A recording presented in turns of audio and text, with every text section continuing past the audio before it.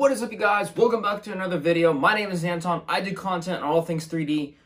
And that's right, we're going to be smoothing our 3D prints without any sanding. Without further ado, let's get it. So, welcome to Anton's Lab Experiments, and today, no, I'm just kidding. We're not gonna be this extra. Um, as I was saying, so what we're going to be doing is this transparent Iron Man helmet, and if you want to see more details of why I did this transparent helmet, how I made it, link up here, but um, we're going to be smoothing him and seeing if we can really make this even more transparent without sanding it at all. And the way we're going to do it is using this stuff right here that I ordered on Amazon, link is always in the description, XTC 3D, uh, the cousin of C3PO, no, I'm just kidding. Um, yeah, it's a quite an interesting name, but uh, it's just these two chemicals right here. Um, you get this nice little brush, little cup, and a stirring stick that I've misplaced somewhere. Ah! Found it. A, uh, yeah, I misplaced it this nice little guy. Anyways, back to what I was saying. This is what's included in the kit, and it runs you about eh, 25, 20 bucks. And all you do is mix two part A and one part B.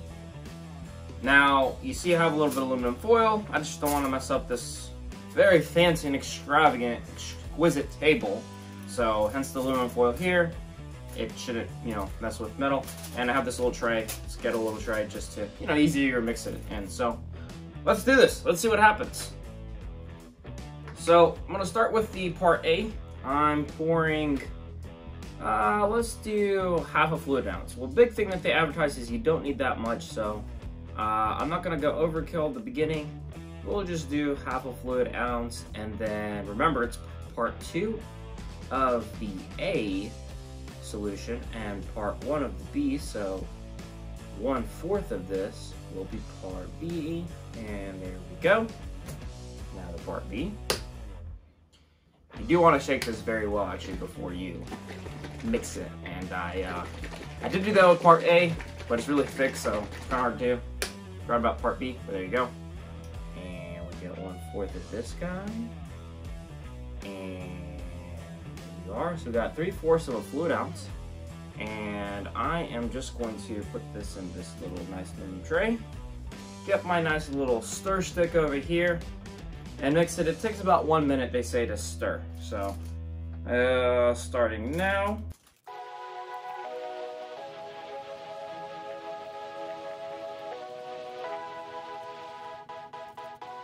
Alright, so it's been about a minute of me stirring this guy. I place that in there. Pour some of this right here. And this nice little brush that comes with that. I'm to start first with the faceplate right here. And I want to do it on the transparent print first, and then Baby Yoda, uh, which is a regular print. But I want to see how smoother it gets it, because there are some layer lines on him.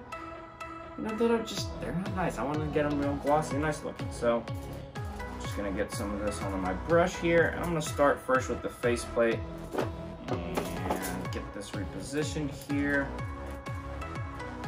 So again, I've done no sanding at all on this guy. And I'm just kind of brushing this all over here. It's, it's kind of stick, sticky and thick.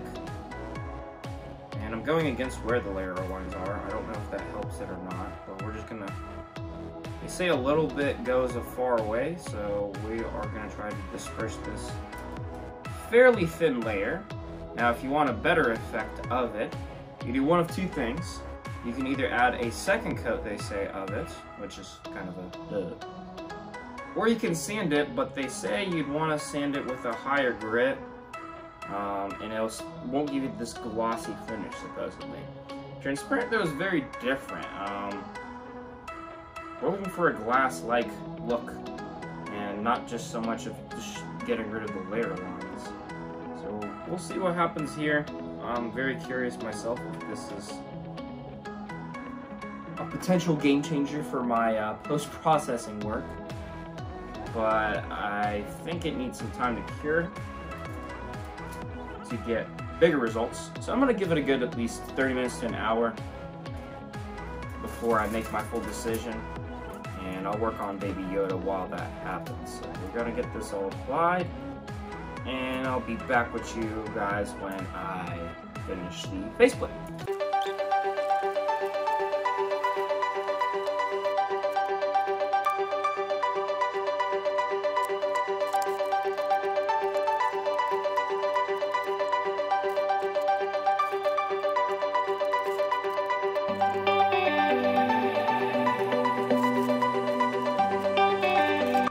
All right, so uh, it's been about 10 minutes since I finished the whole helmet. Am I seeing any effects? Yes, I am initially seeing definitely some difference. Definitely it, it looks, uh, I don't know, wet and glossy, kind of how that picture right there makes it look like. Is it the effect I'm aiming for and looking for? No, but again, this took me 10 minutes of no sanding at all, and I've only done one coat, and it's only the top part. The inside of it needs to be done too. So I'm gonna work on that next. But before we get to that, I'm gonna let it cure a little bit so I can, you know, touch and all that and work on Baby Yoda. This is the guy in models. I really think this is gonna be super helpful because there's little crevices and all of that everywhere here. It's very difficult to get sanded correctly as you would like it to. And they just, they really take away a lot from the model when you have such lines like that. So We'll see how this works with that because using your brush to just basically paint a little more like this would take me no time. So here we go.